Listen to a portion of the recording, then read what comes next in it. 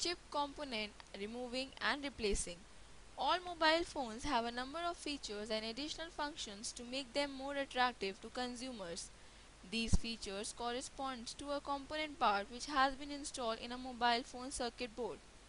While repairing a mobile phone where the fault has occurred is firstly tested and after confirming fault it is removed and replaced if required. In this world of technology, if it has developed an advanced instrument, then simultaneously given the problems like faults in components of instrument and its solution is also developed. Now let us study how these small components are removed and replaced at their position. There are many chip components on a single integrated circuit of mobile phone. They are chip inductor, chip resistor, chip capacitor, filter, multi-layer duplexer, multi-layer duplexers, chip LED and chip fuse. Let us understand these terms in brief. Chip inductor. Chip inductor are used widely in automotive electronics and consumer electronic products like mobile phones.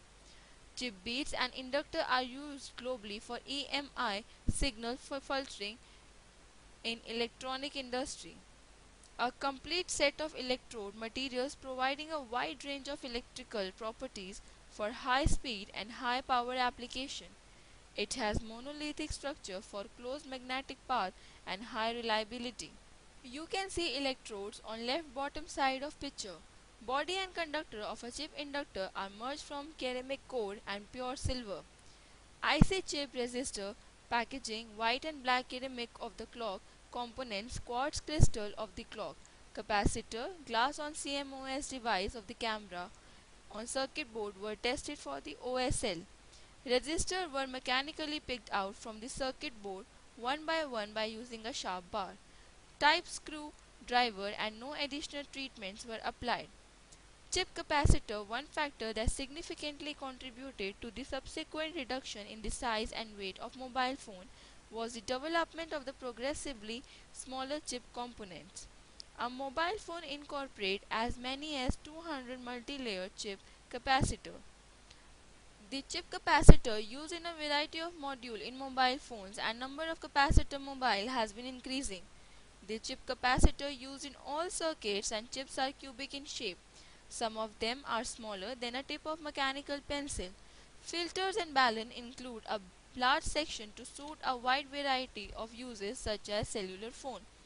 To meet the ever-increasing demand for compact, slim, lightweight and high-performing component, filters and balun make full use of material technologies as well as thin technologies. Filter and balun components provide leading edge of technology while providing exceptional electrical characteristics. Let us have a look on features of filters and balun. They have excellent temperature stability and low insertion loss. They possess high attenuation and have compact size. Now let us study about another chip component. A multi-layer duplexers are used to meet the growing demand for multiple frequency band support. A multi-antenna method is often utilized. You can also perform multiplexing and demultiplexing methods. The important feature of this duplexer are its compact and low profile. There will be low loss and high attenuation. They possess stable temperature characteristics. LED is a term of light emitting diode. It is a solid state semiconductor device which can directly convert electricity into light. LED is a heart of semiconductor chip. The chip is attached to one end of a lead frame and one end of which is the cathode and another is end connects to the anode. Its advantages are low voltage to drive, low energy consumption, high luminance and high luminous efficiency and long life. Chip fuse has a small and lightweight design. Thin film manufacturing method stabilizing fuse Thus, it is used for overcurrent protection. Thank you.